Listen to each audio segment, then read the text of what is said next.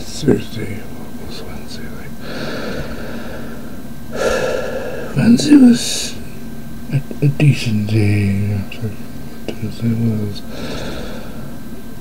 woke up, showered, ate to eat, have both cars back by 10 o'clock. Went to the mall, went to Walmart, came home, just of like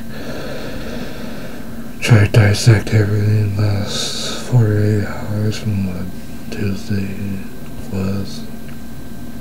Then when I checked mail, okay, it is, you know, was up right.